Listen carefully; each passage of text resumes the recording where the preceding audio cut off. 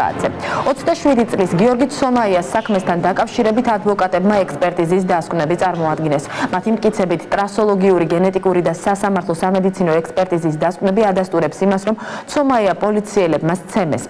ბელა ზაქაიძე განაგრძობს თემას პირდაპირ ეთერში, ბელა კონკრეტულად რა წერია ექსპერტიზის დასკვნაში. სანამ ექსპერტიზის დასკვნებზე გეტყოდეთ, მანამდე გიორგი ცომაიას დედა ვაკე საბურთალოს პოლიციის მეორე განყოფილების კონკრეტულ პოლიციელებს ასახელებს, რომლებმაც მისი თქმით, მისი შვილის ცემაში მიიღეს მონაწილეობა. როგორც გიორგი ცომაიას დედა მარინე ცომაია აღნიშნავს, მისი ვარაუდით ცემაში ვაკე საბურთალოს მეორე განყოფილების უფროსიც მონაწილეობდა და ასევე 11 თანამშრომელი. მან ჩამოთვალა კონკრეტული გვარები, რომლებიც მისი ვარაუდით ცემაში მონაწილეობდა ვფიქრობდნენ გიორგი ცომაიას დედის განცხადებით კონკრეტული ექსპერტიზის დასკვნები შეუკვეთეს სამხარაულის ექსპერტიზის ბიუროს რომლებმაც დაადასტურეს რომ არანაირი დანა და იარაღი გიორგი ცომაიას არ ქონია. დანაშაული კი პოლიციელებმა ჩაიდინეს და დაზიანებები სწორედ პოლიციელების მიერ არის მიყენებული. გიორგი გელაშვილი ზურაბ ბერუაშვილი კახა ჯუღელი და ბესიკ ციქარიშვილი ეს არიან სრულ მორწმე სრულ მორწმე მოწმეები. ამათ მისცეს სრულ ჩვენობა. მაქვს ეჭვი იმისი რომ ხა გიორგი ამოიცნობს ამ პიროვნებებს და მე ვფიქრობ რომ ესენი იყვნენ ყველანი გიორგი ცომაიას ადვოკატებმა არასამთავრობო ორგანიზაციებთან ერთად გამართულ პრესკონფერენციაზე სამი ექსპერტიზის დასკვნა წარმოადგინეს.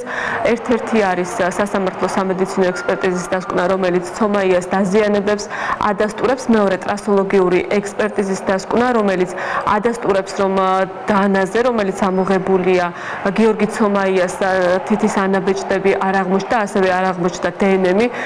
მაშინ როდესაც თითის ანაბეჭდები არ აღმოჩნდა, ჩაატარეს ბიოლოგი ბიოლოგიური კვლევა დნმ-ის ცხიმის ცხიმის და ოფლის ნიმუშებზე, თუმცა გიორგი ცომაიას ნიმუშები არ აღმოჩნდა ამ დანაზე და როგორც ადვოკატი აღნიშნავს, გამოირიცხება აბათილებს ეს დასკვნა პოლიციელების ჩვენებას, რომლებიც აცხადებენ, რომ გიორგი ცომაია ვაკე საფურთალოს პოლიციის მეორე განყოფილებაში დანით შეიარაღებული შევიდა.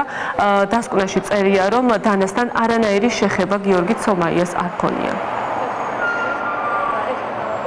გიორგი გელაშვილი პირდაპირ ამბობს, რომ გიორგი ცომაია ჯიბის მარცხე, ესე იგი შარლის მარცხენა ჯიბიდან ამოიღო დასაკეცი დანა, გაშალა და დაუწყო მას დევნა და სურდა მისთვის დაერწყა ეს დანა. დავნიშნეთ ჩვენ ერთად გენეტიკური ექსპერტიზა, იგივე ბიოლოგიური ექსპერტიზა, სადაც კატეგორიულად არის აღნიშნული და მითითებული, რომ გიორგი ცომაიას ბიოლოგიური კვალი გამორიცხულია, თუმცა აი ამ დანაზე არის სხვა მამაკაცების რამოდენიმე მამაკაცის ბიოლოგიური კვალი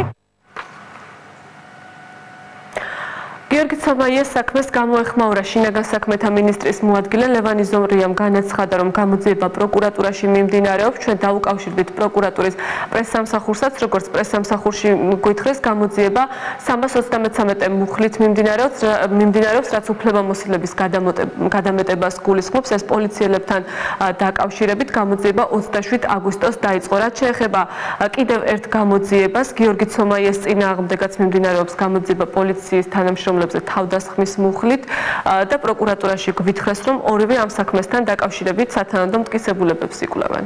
როდესაც ადგილი აქვს პოლიციელის მხრიდან სავარაუდო სამართალდარღვევის ფაქტსაც კი, მაშინათვე საქმეს იწყებს გამოძიებას იწყებს პროკურატურა და შესაბამისად ეს საქმეც დაწყებულია პროკურატურის მიერ და მივიღებთ მართლა მომავალში ინფორმაციას. ახალი მტკიცებულებების საფუძველზე ადვოკატებმა გიორგი ცომაიესთვის სისხლის სამართლებრივი დევნის შეწყვეტა მოითხოვეს და მიმართეს სასამართლოს შესაბამისი შუამდგომლობით, ასევე პროკურატურას, თუმცა სამხარაულის ექსპერტიზის სამივე დასკვნა არ მიიჩნია გამოძიებამ და სასამართლომ სათანადო მტკიცებულებებად, რომ სისხლის სამართლებრივი დევნა შეწყვეტილიყო. ეს ბელა ზაქაიძე იყო, რომელიც სასამართლო ექსპერტიზის დასკვნების შესახებ საუბრობდა პირდაპირ.